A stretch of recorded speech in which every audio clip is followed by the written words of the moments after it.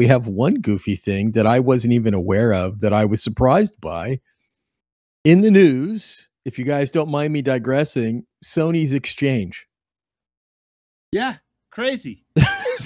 Wild, but it makes sense though, right? Yeah, does it? I think so. In I mean, if you're looking at sense? Web three I mean, good for them. tokenization and NFTs, and you're going to put it in your PlayStation. This is this is more Yeah. Geoff's area, right? I mean, if we tar- start talking about Geoff, you know, that's that's his desire is is to do things with gaming, and his desire to do things with um with NFTs. But it's kind of cool that they're doing that. It's Web three related, so it'll be some EVM, some tokenization, some you know level of of that kind of technology. It won't be an exchange like a Coinbase where they have Bitcoin probably, but it'll be Web three related. Um, Yeah, no, I love yeah, it. I think it's I kind of love fun. that a a real like a company that's been around forever, it just is getting is buying an exchange. Like I would absolutely trust that way more than FTX, way more than He Coinbase, way more than crypto. yeah, yeah, way more than people who came up through the crypto markets to create exchanges. I would definitely trust that much more than was- that. I'm not Right. So let me uh, you know, let me I'm calm telling you down a to go second. do that, right? But Do you know that no, it's great. Sony has been victim of several breach of very sensitive data, including source codes and all that. Did you know that? Look, I'm Yeah, I I'm most did know that. interested in their disclosure that it's a public blockchain network, not an open source blockchain network, but a public blockchain. right. So here it doesn't seem that they're really looking for that, or that's.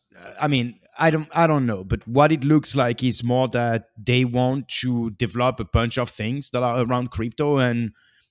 They don't want to use Bitcoin or use anyone else. It seems Nope. that they want to use their own service, and it seems that this exchange uh, does fit into their strategy. So it is definitely interesting. They're not starting from scratch they're buying an exchange that was already um, existing, which is called Whalefin. Yep. It's a small, it's a small thing, but yeah, that's interesting. it- th- they're a Renamed to. S.BLOX. Yeah, they- they're a business, and people want to make you know businesses want to make money. The people are making money in crypto. I, I like it's a that from that angle, it makes total sense for a, a company to do it.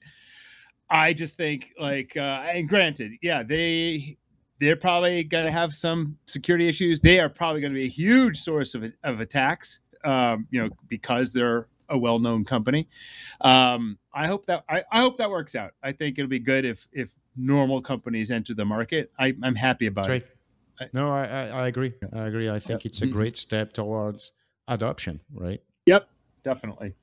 Wasn't wasn't the uh, the blockchain that was at least it was in the news for the longest time was was um oh, it was it was the guy that you wrote that article to Theta, the silver the silver guy, um Bix Bix, uh, was a big yes. fan of Theta. Yes. Yeah, I'm surprised they didn't use the Theta network for this, but instead they've gone private. So that's interesting.